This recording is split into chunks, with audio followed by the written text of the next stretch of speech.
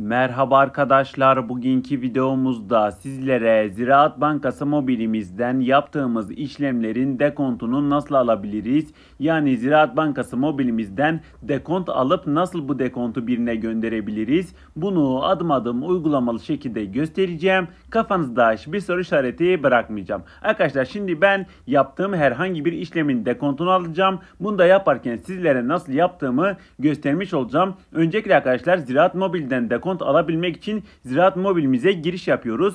Giriş yaptıktan hemen sonra bakın sağ alt köşeden menüye basıyoruz. Menüye bastıktan sonra en yukarıda hesaplarım seçeneğimiz var. Hesaplarıma basıyoruz. Buradan en yukarıda tüm hesaplarım seçeneği var. Tüm hesaplarıma basıyoruz arkadaşlar. Tüm hesaplarıma bastığımızda bizim Ziraat Bankası'ndaki bütün hesaplarımız burada gözüküyor. Arkadaşlar biz hangi hesabımızdan yaptığımız işlemin dekontunu almak istiyorsak o hesabımızı seçmemiz lazım. Ben mesela en yukarıdaki hesabımdan bir tane işlem yapmıştım. Onun dekontunu alacağım. Hemen en yukarıdaki hesabımın üzerine basıyorum. Hesabıma bastıktan hemen sonra bakın hemen ortada hesap hareketleri seçeneğimiz var. Hesap hareketlerine basıyorum basıyoruz ve arkadaşlar benim bu hesabımdan yaptığım işlemlerim gözüküyor. Ancak sadece bir ayı gösteriyor şu anda. Ben en yukarıdaki son bir ayın üzerine bastığımda bakın bunu son bir yıl olarak değiştiriyorum ve şu anda son bir yıl içerisinde yaptığım bütün işlemler açıldı. Arkadaşlar şimdi biz dekontumuzu nasıl alıyoruz? Biz hangi işlemimizin dekontunu almak istiyorsak o işlemimizin üzerine basıyoruz.